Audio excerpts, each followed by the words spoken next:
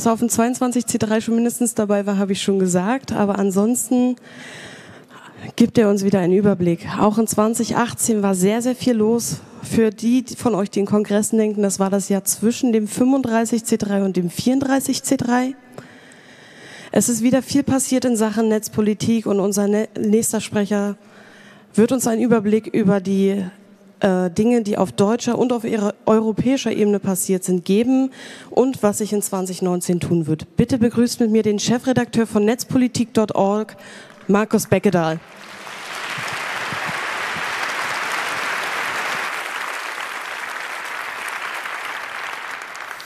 Ja, schönen guten Morgen. Ich hoffe, meine Stimme hält durch. Willkommen zu einer neuen Ausgabe von Das Beste und Schlechteste der Netzpolitik in Deutschland und der EU von gestern und heute. Ich habe das Problem, ich habe nur 40 Minuten. Viele Themen, die auch relevant sind, musste ich leider rausschmeißen. Es sind aber noch genug übrig geblieben.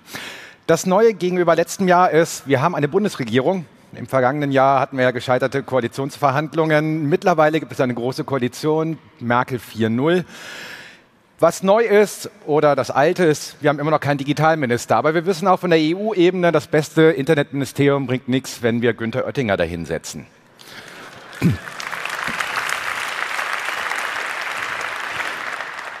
Die gute Nachricht ist, nach 13 Jahren Angela Merkel als Kanzlerin ist Digitalisierung, ist Netzpolitik auf einmal ein Thema.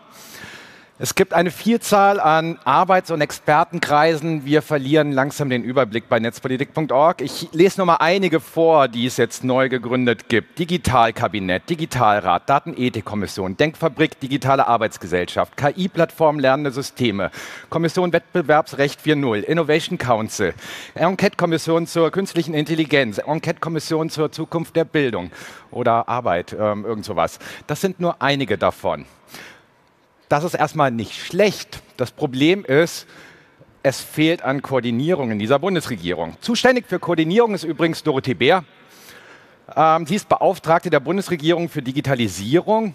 Laut äh, Bundesregierung zuständig für die Koordinierung der Netzpolitik innerhalb der Bundesregierung und für die Kommunikation nach außen. Sie findet Datenschutz störend, versteht darunter aber manchmal Busfahrpläne, die aber nichts mit personenbezogenen Daten zu tun haben. Und es gibt so ein schönes aktuelles Zitat von ihr, was sie sich wünscht. Ich zitiere, Nerds von außen müssen uns dringend ihren Sachverstand und ihre Schaffenskraft für eine gewisse Zeit zum Wohle aller leihen. Also liebe Bundesregierung, es könnte so einfach sein. Warum nicht mal neben all den Industrielobbyisten auch mal Vertreter der digitalen Zivilgesellschaft ins Kanzleramt einladen? Warum laden eigentlich fast alle Fraktionen im Bundestag immer Nerds als Sachverständige ein, aber CDU, CSU eigentlich nie. Also, it could, so, uh, could be so easy. Dann kommen die Nerds auch, weil die Angebote stehen seit vielen Jahren, man muss sie auch annehmen. Die digitale Agenda heißt jetzt Umsetzungsstrategie. Und was fehlt, ist leider die Strategie. Ist ja nichts Neues, aber die Bundesregierung hat irgendwann vor ein, zwei Monaten ihre Umsetzungsstrategie präsentiert und ich habe verschiedene Anläufe genommen, das Ganze auf netzpolitik.org zu kommentieren.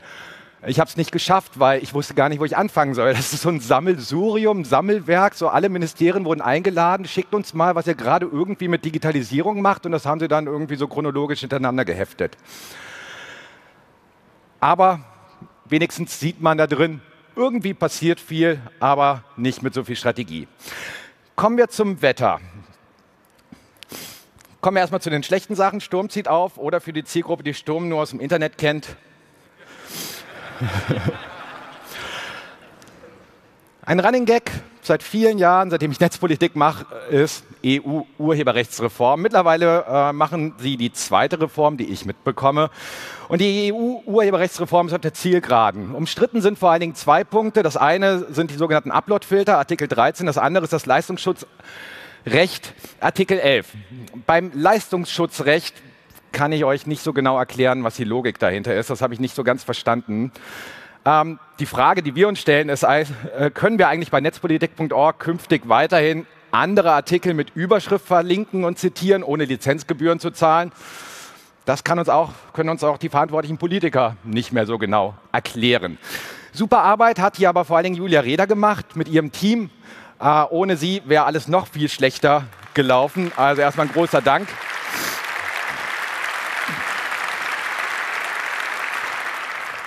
Aber vor allen Dingen die Uploadfilter sind ein Problem, weil Uploadfilter stellen eine größere Gefahr für Meinungsfreiheit dar als das Netzwerkdurchsetzungsgesetz. Auch weil die automatisierte Entscheidungssysteme mitdefinieren, was wir wie angezeigt bekommen und was überhaupt veröffentlicht werden kann. Und die entscheidende Frage ist, wo sind die demokratischen Kontrollen bei der Frage, was da wieso in den Filtern auftaucht und was deswegen nicht mehr angezeigt werden kann. Dazu kommt später noch mehr. Ja, das Leistungsschutzrecht, ähm, das deutsche Leistungsschutzrecht, quasi der Exportschlager in die EU, ist vielleicht nicht gültig. Wir haben das schon vor eineinhalb Jahren auf netzpolitik.org angekündigt, dass es nicht EU-konform ist, war gerade wieder in den Medien, zeigt netzpolitik.org, Leser wissen früher Bescheid. Ähm, wir haben auch mal geklagt rund um das äh, Leistungsschutzrecht. Und zwar wollten wir wissen, wer in der entscheidenden Sitzung des Bundeskabinetts vor fünf Jahren mit dabei war und was dort besprochen wurde zu dem Fall. Weil damals war äh, der Kanzleramtsminister Eckert von Kläden zuständig unter anderem dafür oder damit beschäftigt. Und sein Bruder war der Springer-Lobbyist äh, Dietrich von Kläden. Und wir sahen darin einen Interessenskonflikt und haben das durchgeklagt bis zum Bundesverwaltungsgericht. Wir haben leider nur halb Recht bekommen. Wir haben oder kriegen jetzt die Teilnehmerliste die Bundesregierung wollte nie irgendwie die Teilnehmerliste rausrücken, wer denn jetzt bei einer Kabinettssitzung dabei war, weil mit der Begründung, man könnte darauf auf das Verhalten oder Abstimmungsverhalten einzelner Minister schließen. Das haben wir erkämpft. Nicht erkämpft haben wir, dass wir die für 30 Jahre geschützten Kabinettsprotokolle bekommen. Die bleiben leider weiter geschützt. Aber was auch neu ist, Girls Day im Innenministerium. Und das ist ein kleines Problem. Also nicht nur das. Die letzte große Koalition hat uns mehr Überwachungsbefugnisse wie kaum eine andere Regierung vor ihr gebracht. Und jetzt geht sie in die Verlängerung. Und an der Spitze des BMI sind eigentlich nur Überwachungshardliner zu sehen. Wir hatten sie schon mal eben. Verpflichtende Uploadfilter können ein wichtiger Bestandteil einer Zensurinfrastruktur werden. Und sie sind es sogar schon es gibt behördliche oder auf EU-Ebene gibt es gerade die Diskussion infolge des EU-Forum Internet. Ich glaube, ich habe vor zwei oder drei Jahren mal ähm, hier über das EU-Forum Internet noch in Hamburg damals auf dem CCC-Kongress gesprochen. Das war so ein Treffen zwischen großen Plattformen und EU-Sicherheitsbehörden, EU-Politikern, wo im Rahmen einer Privatisierung der Rechtsdurchsetzung Plattformen motiviert wurden, doch mehr zu machen, wie Uploadfilter einzubauen. Das haben die auch teilweise jetzt größtenteils gemacht. Von 20 Plattformen, die da mitdiskutieren sollen, 17 schon Uploadfilter irgendeiner Art installiert haben. Und jetzt kommt demnächst noch die Verordnung zur Bekämpfung von Terrorpropaganda. Und das ist unserer Meinung nach ja dasselbe, was wir damals mit Zensursula verhindert haben, nur auf einem höheren Netzlayer, nämlich bei Plattformen. Und dahinter steht, behördliche Löschanforderungen müssen von Anbietern binnen einer Stunde umgesetzt werden. Das heißt, es geht nur durch automatisierte Uploadfilter und mit proaktiven Maßnahmen ja, äh, bekämpft werden. Das, damit sind gemeint Instrumente zur automatischen Erkennung. Und wo bleibt eigentlich der Aufschrei, wenn hier eigentlich fast genau dasselbe passiert wie damals in der Zensursula-Debatte, nur kein interessiert ist? Das ist ein echtes Problem. Horst Seehofer hat es mit auf den Weg gebracht, will sich aber jetzt nicht mehr dazu äußern. Es gab zuletzt eine EU-Innenministersitzung, wo das dann vom EU-Rat beschlossen wurde. Dort sprach dann der ähm, österreichische Innenminister statt Horst Seehofer. Er sprach vom, das Internet sei ein Brandbeschleuniger ins Negative. Das sagt der österreichische Innenminister, der den Identitären nahesteht. Es dürfe kein neuer virtueller islamischer Staat im Internet entstehen und der Vorschlag solle Lücken schließen, die in der realen Welt bereits abgedichtet seien. Was ist eigentlich Terrorpropaganda?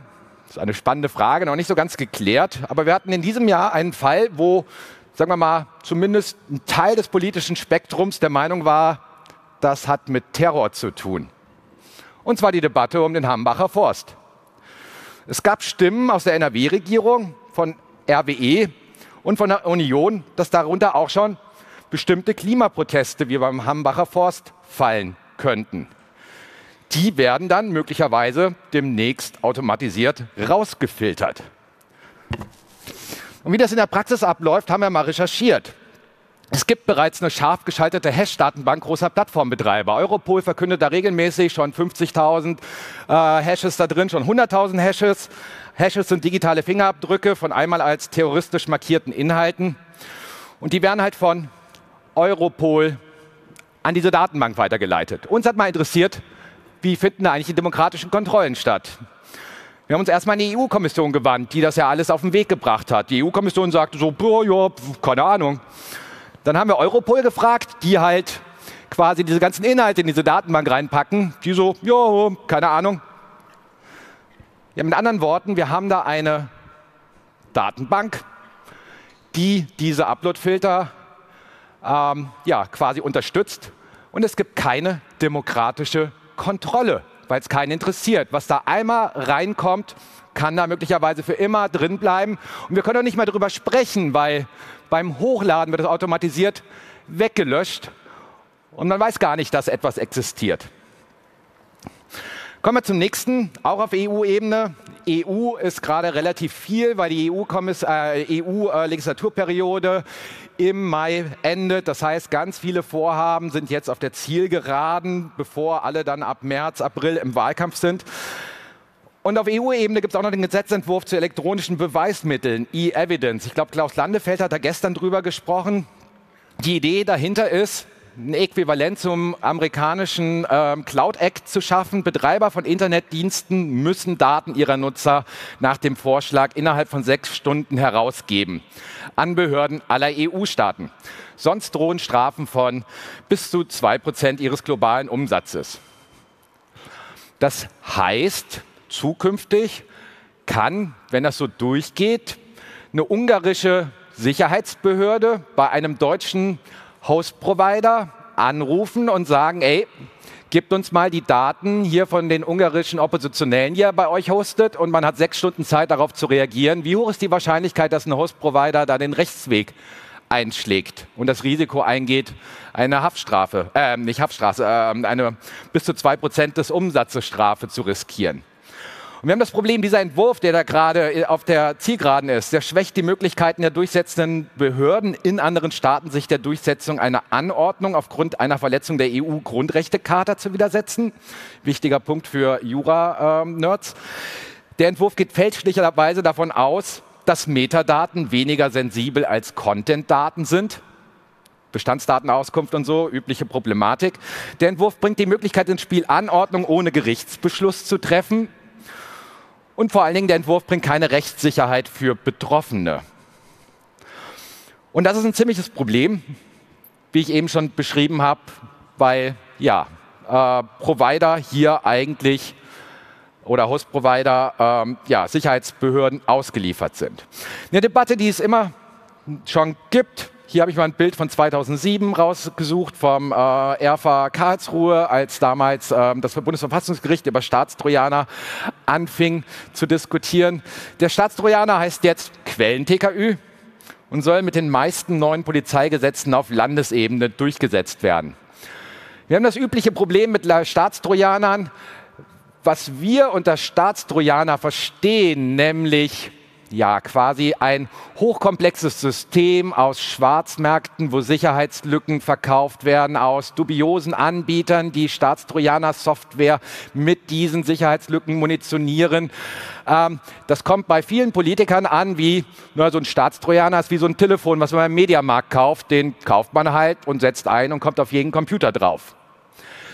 Wir müssen also noch weiter erklären, worum es geht, weil es gilt weiterhin, im Namen der Sicherheit wird hier massive IT-Unsicherheit geschaffen, wenn wir weiter den Weg der Staatstrojaner verfolgen. Und das ist der falsche Weg.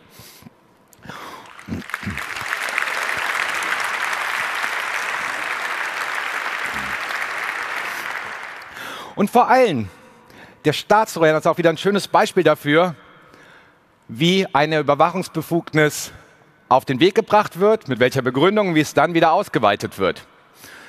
Wir haben mal in diesem Jahr recherchiert, wofür äh, ja, die meisten Staatstrojaner eingesetzt werden.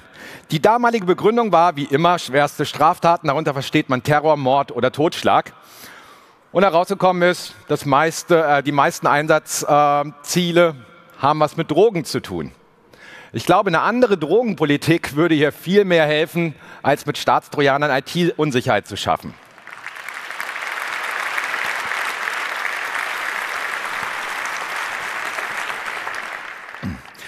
Ja.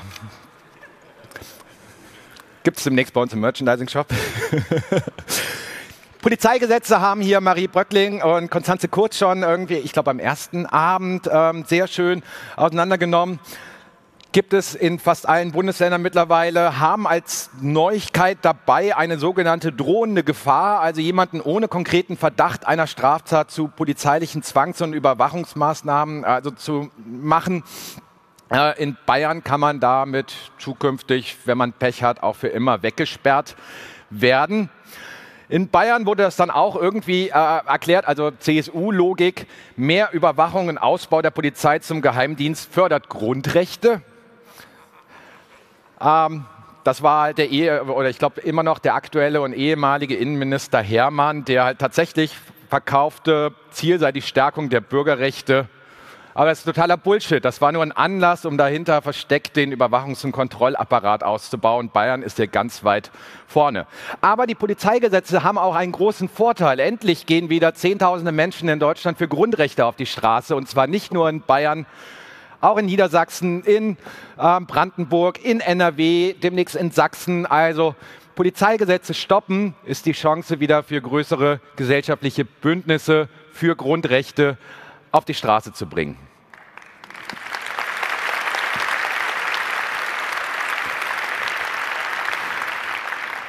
Ja, wenn es äh, um, zum Thema Bündnispartner geht, haben wir auch eine neue alte Debatte.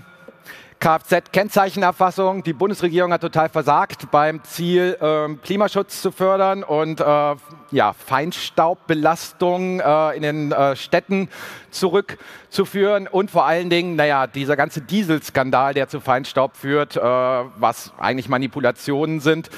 Ähm, das war, ist von der Bundesregierung total verkackt worden, aber die Antwort darauf ist mehr Überwachung. Und zwar Kfz-Kennzeichen seien äh, Scanner Kennzeichen Scanner seien laut Andreas Scheuer, das ist übrigens unser Ver äh, Verkehrsminister, die einzig praktikable und effektive Möglichkeit, Fahrverbote älterer Dieselautos durchzusetzen. Das sei keine Überwachung, der Datenschutz sei gewährt. Allerdings gibt es deutlich mildere Mittel zur Kontrolle der Fahrverbote. Wenn das unser Verkehrsminister nicht weiß, dann hat er ein Problem und wir auch. Es gibt zum Beispiel die blaue Plakette, Plakette oder kleine RFID-Funksender, die andere Länder bereits in Mautsystemen einsetzen, wo man nicht die ganzen Gesichter der Fahrer und Fahrerinnen mitfotografieren muss. Und hier habe ich noch ein schönes Zitat von Andreas Scheuer. Der Einsatz von Videoüberwachung gerade im Verkehrsbereich wird seit vielen Jahren als akzeptiert empfunden. Das gelte es zu beachten, wenn der Gesetzentwurf als problematischer Eingriff in die Privatsphäre bezeichnet wird. Auch hier spricht niemand von Überwachungsstaat. Wir schon.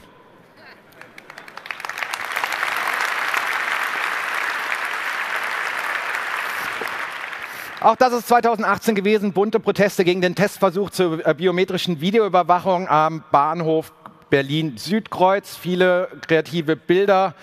Der wissenschaftliche Test der Videoüberwachung ist aus wissenschaftlicher Sicht ein Witz, wie der Chaos Computer Club unter anderem festgestellt hat. Aber wir sollten grundsätzlicher diskutieren als über Fehlerquoten, weil die Fehlerquoten werden mit der Zeit wahrscheinlich zurückgehen. Und grundsätzlicher heißt, eine anlasslose Massenüberwachung des öffentlichen Raumes durch biometrische Videoüberwachung gefährdet einfach unsere Freiheit. Punkt.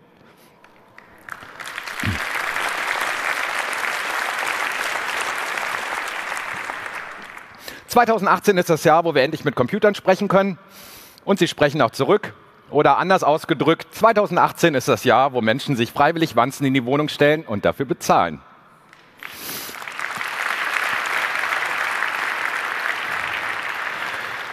Und die Diskussion um Alexa, Google und wie sie alle heißen und Co. fängt gerade erst an. Und es gibt da viele Fragen, die wir diskutieren sollten. Wo liegen eigentlich die Daten? Liegen die auf deutschen Servern unter deutschen Datenschutzgesetzen oder werden die in die USA transferiert und über PRISM sind sie dann in Sicherheitsbehörden dort äh, zugänglich? Wer hat alles Zugriff darauf? Wie sicher ist das eigentlich? Wann kommt der Punkt, wo Alexa und Co. eigentlich alles für immer speichern, weil es einfach bequemer für den Nutzer und für Amazon ist? trainieren wir eigentlich mit Alexa und Co. ein globales Stimmenbiometriesystem, wo wir dann zukünftig überall anhand unserer Stimme erkannt werden, weil überall Alexas und Google-Teile rumstehen. Und erkennen mich die Systeme dann, egal wo ich bin. Und wenn wir so eine KI trainieren, damit sie uns besser kennt und besser versteht und so weiter, und wir uns daran gewöhnen, ab wann ist der Punkt eigentlich erreicht, dass wir nicht mehr die Alexa-Welt oder die Google-Welt verlassen können, weil wir sie so auf uns trainiert haben, dass wir woanders wieder von vorne anfangen müssten. Und vor allen Dingen, what could possibly go wrong? Das hat die CT gerade gefragt. Da hat jemand eine Datenschutzrechtsauskunft äh, an ähm, Amazon geschickt und hat fremde Alexa-Daten zugeschickt bekommen. Und die Herausforderung ist, künstliche Intelligenz und Sprachsteuerung sind gekommen, um zu bleiben. Das ist auch gut so, aber umso wichtiger sind freie, dezentrale, offene Alternativen dazu, denen wir vertrauen können, damit wir diese Technik auch bei uns zu Hause einbauen und können und nutzen können. Das wünsche ich mir. Ähm. Ansonsten gilt, von den größten Datenschützern kann man viel lernen. Mark Zuckerberg hat auch sein Mikrofon verklebt für die Leute, die, die noch nicht auf die Idee gekommen sind. Kommen wir zum nächsten Thema. 2017 will ihre Bot-Debatte zurück. Wir hatten es hier vorher in dem Talk von Konstanze und Ingo äh, zu äh, Desinformation. Die Debatte um Des- und Missinformation müssen wir führen, aber Social Bots sind da echt das kleinste Problem.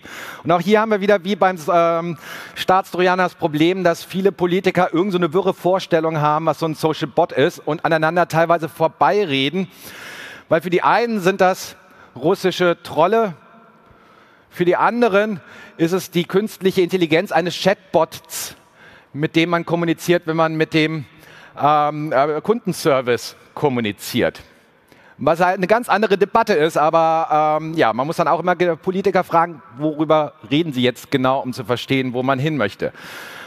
Und was klar ist, wenn man mit einer KI kommuniziert, dann brauchen wir Transparenz. Das ist eigentlich ein Verbraucherrecht, das müssen wir auch umsetzen.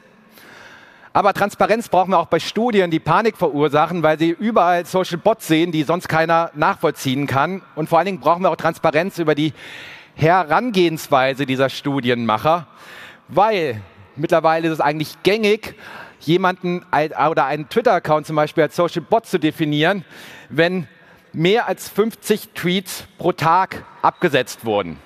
Und wir haben leider echt das Problem, dass wir in unserer Gesellschaft viele Menschen mit viel zu viel Zeit und viel zu viel Wut haben, die locker auf 50 Tweets pro Tag kommen, die aber keine Social Bots sind, weswegen man jetzt eine Klarnamenspflicht einführen muss. Und die Debatte des Jahres war Cambridge Analytica und Facebook. Für uns war es so ein bisschen ungewöhnlich. Das war nicht der erste Datenskandal von Facebook. Es, es, war nicht der letzte. Allein in diesem Jahr sind wir insgesamt auf 21 Datenskandale bei Facebook gekommen. Aber normalerweise dauerten die immer nur zwei, drei Tage. Dann brachte Facebook neue Features raus. Dann waren alle Journalisten nur noch über die neuen Features am Berichten und es drehte sich wieder. Cambridge Analytica dauert immer noch an, hat zu verschiedenen Anhörungen geführt, zeigt aber auch, Cambridge Analytica ist nur die Spitze des Eisberges und nur eines von möglicherweise tausenden Firmen, die ähnlich vorgegangen sind, die ähnlich Daten abgegriffen haben und möglicherweise auf ähnliche Art und Weise diese Daten nutzen, um Menschen über Facebook oder woanders zu manipulieren. Und Glückwunsch an alle Menschen, die aus Protest gegen die Firmenpraktiken von Facebook zu Instagram und WhatsApp gewechselt sind. Das brachte uns aber auch die Debatte, wie gehen wir mit der Macht monopolistischer Plattformen um? Wie können wir sie grundrechtsfreundlich regulieren, um mehr Wettbewerb und Verbraucherrechte durchzusetzen? Facebook zerschlagen und Google zerschlagen ist da ein notwendiger Weg, weil die einfach zu mächtig, zu groß geworden sind. Und vor allen Dingen als zum Beispiel als äh, Facebook WhatsApp aufkaufte, hatten sie der EU-Kommission versprochen, keinen Datenaustausch zu machen. Das würde ich ein bisschen bezweifeln und deswegen das einfach zurücknehmen. Und es geht bei dieser ganzen Debatte um Plattformregulierung darum, wie setzen wir dort welche Rechte wie durch? Wie stärken wir die Rechte der Nutzer gegenüber Plattformen und ihrer Friss- oder Stirb-Policies? Wie schaffen wir mehr Meinungs- und Medienfreiheit oder Medienvielfalt? Wie schaffen wir mehr Dezentralität und Wettbewerb? Und wie können wir offene und datenschutzfreundliche Alternativen fördern? Da gibt es noch viel zu wenig, vor allen Dingen aus der Politik. 2018 hat auch gezeigt, Facebook tötet in Myanmar, in Nigeria, überall dort, wo das Unternehmen Geld verdient, sich aber nicht verantwortlich fühlt und zum Beispiel ausreichend Fact-Checker mit den richtigen Sprachkenntnissen beschäftigt. Auch das ist ein Problem. Und 2018 hat den schönen Film The Cleaners gebracht, der die Content Moderation Politik sozusagen der großen Konzerne mal ins, ja, ins Fernsehen gebracht hat. Und da kann man auch sehen, oder 2018 hat auch, auch gezeigt, das Netzwerkdurchsetzungsgesetz in Aktion macht weniger Schaden als befürchtet, weil es viel zu kompliziert zu melden ist. Und die Plattformen einfach eh alles löschen auf Basis ihrer Content Policies und Community-Regeln. Und das ist echt ein Problem. Aber wenigstens hat das Netzwerkdurchsetzungsgesetz Transparenzberichte äh, gebracht und wir sind gespannt auf die nächsten, die sie rausbringen müssen. Kommen wir mal zu heiter bis wolkig. Die gute Nachricht für 2018 ist, bis morgen haben alle 50 Megabit Breitbandinternet.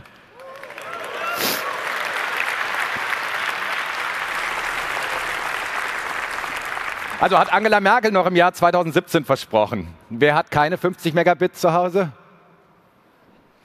Oh, selbst bei den Nerds gibt es viele, die es nicht haben. Ja, ja, ich äh, kenne auch viele in Berlin, die in zentralen Gegenden liegen und froh sind über 16 Megabit, wenn sie das überhaupt bekommen. Aber dafür haben wir einen Verkehrsminister, der mittlerweile Funktürme selbst eröffnet, wie hier in Klesen-Görne eines der bekanntesten Ex-Funklöcher in Deutschland. Äh, 360 Bewohner, eine, anscheinend mit die kleinste Kommune in Brandenburg. Jetzt mit Netz, weil die Deutsche Telekom von ihm genötigt wurde, für einen PR-Termin einen Funkturm aufzubauen. Und erinnert ihr euch noch an die, äh, an die Durchhalteparolen, dass, wenn das jetzt bis morgen nichts wird, mit 5G alle Probleme gelöst werden? Ja, wenn 5G mal kommt. Mal gucken. Aber das nächste Versprechen ist jetzt, bis 2025 haben wir alle Gigabit. Also vielleicht. Es gab auch mal ein paar Fördermilliarden, die versprochen worden sind.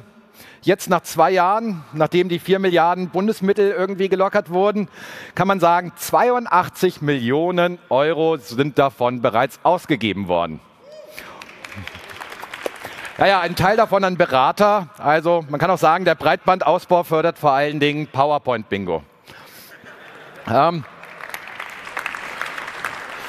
gibt ein bisschen Fortschritt beim äh, Thema äh, Zero Rating Angebote. Ähm, zumindest gibt es neue Gerichtsurteile. Das äh, Stream-On-Angebot der Telekom verletzt die Netzneutralität. Ja, sie müssen jetzt nachbessern und so weiter. Das Grundproblem besteht, Zero Rating Angebote generell verletzen die Netzneutralität und hier brauchen wir eine Klarstellung. Und vor allen Dingen, es sind nicht nur die Telekommunikationsunternehmen, die sich die Hände in der Netzneutralitätsdebatte schmutzig machen. Es sind auch vor allen Dingen die Unternehmen und die Organisationen, die an Zero-Rating-Programmen teilnehmen und sich darüber einen Wettbewerbsvorteil verschaffen, weil sie bevorzugt durchgelassen werden.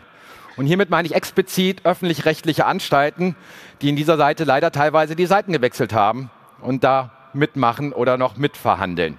Shame on you.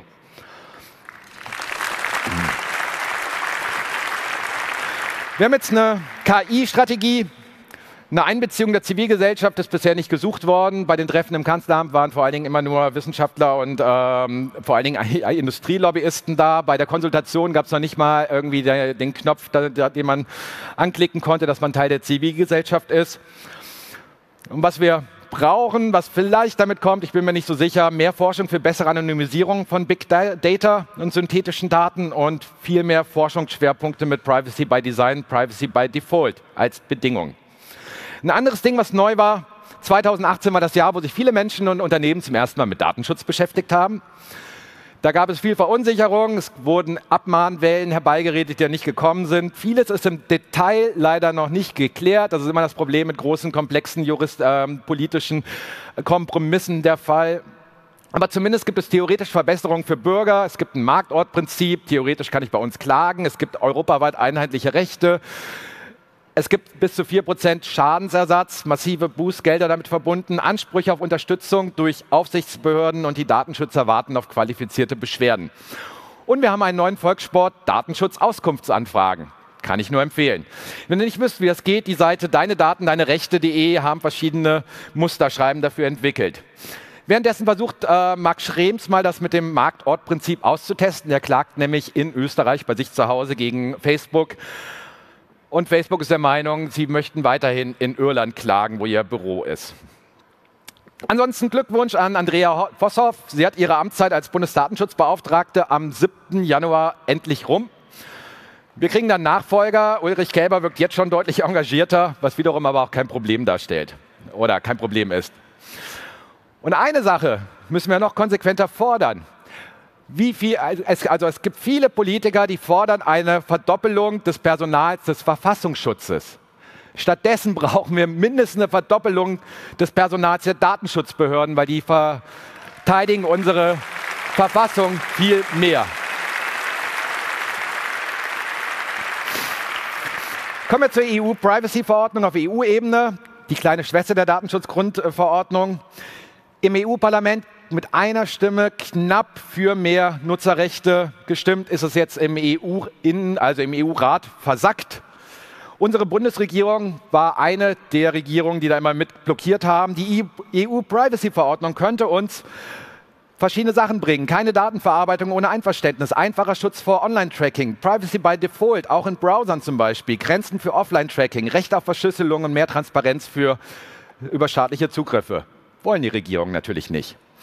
Aber wir sollten auch mal diskutieren, welche Werte sollen Innovationen eigentlich bringen? Was sind das für tolle Dateninnovationen, wenn die Nutzer nicht im Bilde sind, was da im Hintergrund passiert? Auch deswegen brauchen wir klare Regeln gegen intransparentes Tracking. Ansonsten, der Digitalpakt kommt oder auch nicht, vielleicht. In der Grundsache gut, äh, wie immer 20 Jahre zu spät.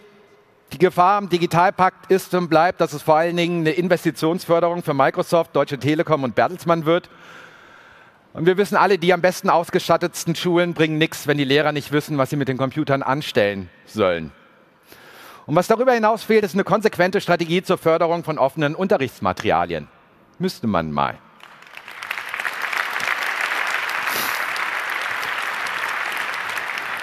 Ja, Running Gag jedes Jahr, Freifunk-Initiativen äh, könnten gemeinnützig werden. Der Bundesrat hat das erneut abgestimmt. Das liegt jetzt erneut im Bundestag, der sich erneut zusammengesetzt hat gegenüber letztem Jahr.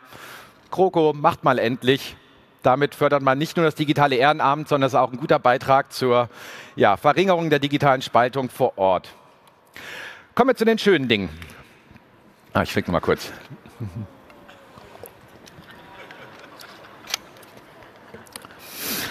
Es gibt auch viele Leuchttürme und so feiern wir hier auf dem Kongress auch vor allen Dingen das schöne, freie und offene Internet. Eines der spannendsten Citizen Science Projekte in diesem Jahr war der Radmesser vom Tagesspiegel, gefördert vom Medieninnovationszentrum Babelsberg, in dessen Jury ich sitze als Disclaimer. Die haben Sensoren entwickelt, die an 100 Radfahrer in Berlin abgegeben wurden, die den Radabstand zu Autos äh, untersucht haben in einem längeren Test. Weil Autos müssen sich eigentlich an vorgeschriebene 1,5 Meter Abstand äh, halten. Und wenn wir nicht genug Fahrradwege haben und auf Straßen fahren müssen, dann sind wir sozusagen dem ausgeliefert, dass eigentlich Autos sich daran halten müssen und die das aber nicht tun und uns gefährden als Fahrradfahrer. Dieses Projekt hat schön gezeigt, dass man auch mit Citizen Science Projekten A spannende kreative Sachen machen kann, aber auch eine politische Debatte im Umgang mit Radfahrern in Berlin in diesem Fall befeuern kann und dieses ganze Modell soll auf andere Städte ausgeweitet werden. Eines der schönsten Erfolge war in diesem Jahr offene Gesetze. Die Bundesgesetzblätter sind die zentralen Dokumente der deutschen Demokratie, aber bislang waren die gemeinfreien Werke vom Staat privatisiert worden und vom Urheberrecht geschützt. Sie waren zwar zugänglich, aber mit so vielen Schikanen versehen, dass man eigentlich immer Geld reinwerfen musste. Und dank der Open Knowledge Foundation hat sich das geändert. Die haben einfach alles gescraped und auf offenegesetze.de veröffentlicht. Und jetzt hat die Justizministerin verkündet, dass das zukünftig alles von sich aus freigestellt wird und das Gesetz geändert wird. Das ist ein großer Erfolg. Aber das sollte nur ein erster Schritt sein. Auch die Rechtsprechung sollte offen zugänglich sein. Es gibt Fortschritte bei Open Access. Und zwar im Rahmen des Projekts Deal versuchen deutsche Wissenschaftseinrichtungen mit den drei größten äh, Wissenschaftsverlagen freien Zugang für ihre Wissen äh, Forschungsergebnisse zu verhandeln. Wer die Logik dahinter nicht versteht, total absurd. Ähm, wir finanzieren Wissenschaft, die finanzieren mit unseren Steuergeldern wiederum ein paar private Verlage, zahlen denen ganz viel Geld, damit die wiederum ihr, unsere von uns finanzierte wissenschaftliche Ergebnisse publizieren. Könnte man auch anders machen, hat man bisher nicht. Aber jetzt stellen sich viele Universitäten ähm, schlechten neuen Deals in den Weg. Und im Moment zahlen zum Beispiel hunderte Unis nicht mehr den Verlag Elsevier, weil er sich diesem Projekt Deal verweigert. Aber auch hier muss klar sein, öffentlich finanzierte Forschung muss offen zugänglich sein. Wir brauchen richtiges Open Access, aber wir sind auf, zumindest auf dem Weg dahin. Das Weizenbaum-Institut wurde gestartet ein Institut von der Bundesregierung finanziert zur Erforschung der gesellschaftlichen Auswirkungen von Digitalisierung. Ich finde das gut und das sage ich ganz unironisch. Es ist aber wie immer leider 20 Jahre zu spät. Aber besser zu spät als ähm, nie. Dann gab es in diesem Jahr zum ersten Mal eine Bits und Bäume, wo sich Umweltbewegung und Netzbewegung ähm, drei Tage lang unterhalten haben. Das ist auch ein Fortschritt. Wir hatten mal vor zehn Jahren eine Sustainable IT-Konferenz in Berlin organisiert. Da hatten wir noch das Problem, dass die Umweltbewegung nicht wusste, dass sie auch von der Digitalisierung betroffen ist. Die gute Nachricht ist, sie haben es jetzt mittlerweile kapiert, zumindest Teile davon. Und wir hatten in diesem Jahr 800 Menschen in Berlin bei unserer Das ist Netzpolitik-Konferenz, der fünften. Und auf der ersten Das ist Netzpolitik-Konferenz vor fünf Jahren waren eigentlich fast alle im Publikum und auf der Bühne, so alt wie ich, männlich, und in diesem Jahr war ich zum ersten Mal einer der Ältesten. Der Großteil war jünger und viel weiblicher geworden. Das ist eine schöne Entwicklung, zeigt auch, wir haben zum Glück keine Nachwuchsprobleme. Und deswegen machen wir auch im nächsten Jahr die nächste, das ist Netzpolitikkonferenz, 13.09.2019, Volksbühne in Berlin. Und danach feiern wir unseren 15. Geburtstag von netzpolitik.org. Und jetzt kommen wir noch zu den letzten schönen Sachen. Hans-Georg Maaßen ist endlich weg.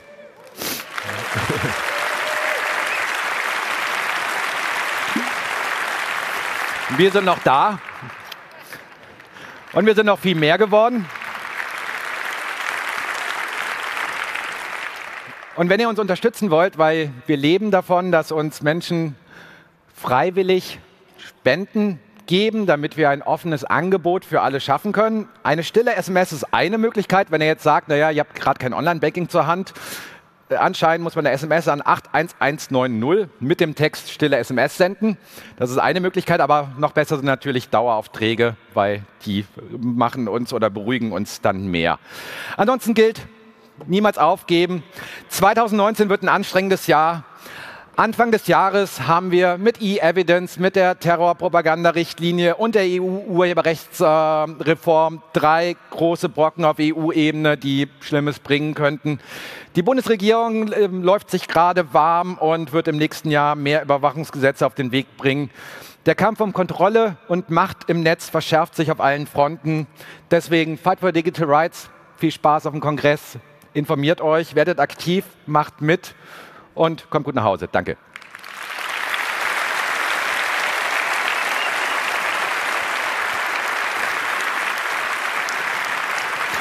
Und wir haben hier noch Aufkleber und Jutesäcke. Wer welche haben will, weil wir waren jetzt nicht in der Lage, aufgrund unserer ganzen Vorträge hier auch noch einen Stand irgendwo zu machen und dachten, wir machen das nach unseren Talks. Vielen lieben Dank, Markus. Wieder das Gleiche. Wenn ihr Fragen habt, ihr findet acht Mikrosol äh, Mikrofone hier unten im Saal. Bitte positioniert euch hinter dem Mikrofon. Die, die jetzt schon den Raum verlassen, bitte seid ruhig, damit wir die Fragen entgegennehmen können. Aus dem Internet haben wir die erste Frage. Ja, im Internet ist man unsicher, ob du das Fact-Checking und darauf aufbauendes Filtern bei Facebook gut oder schlecht findest und wie du das gegebenenfalls mit der Ablehnung der EU-Upload-Filter zusammenbringst. Äh, gar nicht. also ich bringe das gar nicht mit der EU-Upload-Filter-Sache ähm, ähm, zusammen. Ich finde es wichtig und richtig, dass es demokratische Fact-Checking Institutionen gibt, auch auf Plattformen wie Facebook. Ich finde es nicht okay, dass Facebook denkt, das machen irgendwelche Freien oder ja, Fremden und kriegen dafür kein Geld.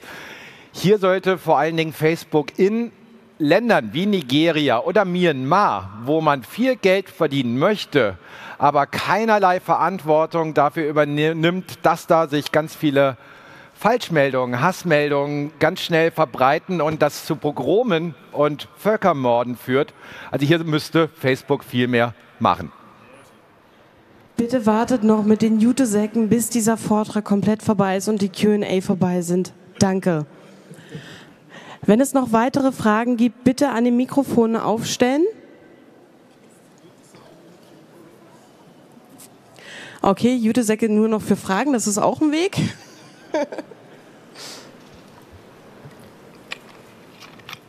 Okay, wenn es keine weiteren Fragen gibt, bist du sicherlich später auch noch erreichbar für die ganzen Leute. Vielen. Ah, es gibt noch am Mikrofon 4 eine Frage, habe ich gehört? Ähm, kurze Folgefrage zu dem eben. Wie würdest du das, also wo siehst du die Grenze zwischen der Verantwortung von Facebook und wo beginnt Zensur quasi? Weil das ist ja eine schwierige Sache, wenn Facebook eingreift, was veröffentlicht werden darf und was nicht.